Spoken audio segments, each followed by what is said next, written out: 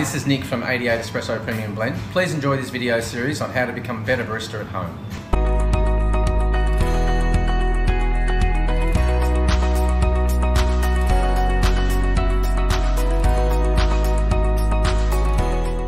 Hi, uh, it's Nick here from 88 Espresso.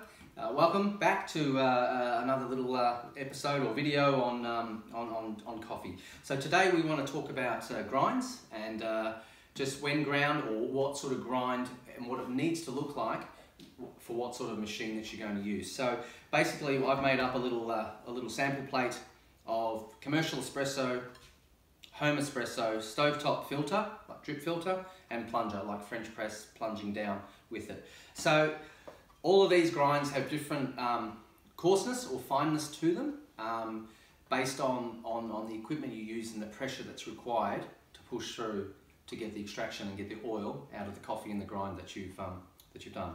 So commercial uh, espresso in my mind is a little bit like icing sugar, probably not as fine as icing sugar, but um, that sort of fineness where it's quite sticky and, and holds together. Uh, we have um, a photo of each of these, which we can probably work out and put somewhere if, we, if you're interested. Um, the home espresso, because the pressure on, this is full commercial, so with a home one, there's not as much pressure and, and, and the process a little bit slower.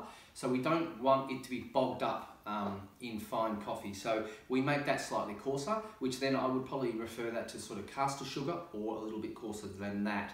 Um, then we go to stovetop um, cafeteria like uh, and filter filter coffee.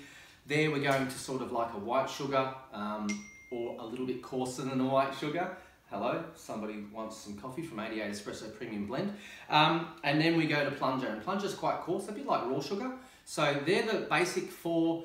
If you were thinking about how do I want to grind this and I need to do this, that's basically I suppose, a guideline for it. It's not necessarily correct, but it's, it's for the home barista, it's probably a really, really good start until you start to sort of refine your skills in that area.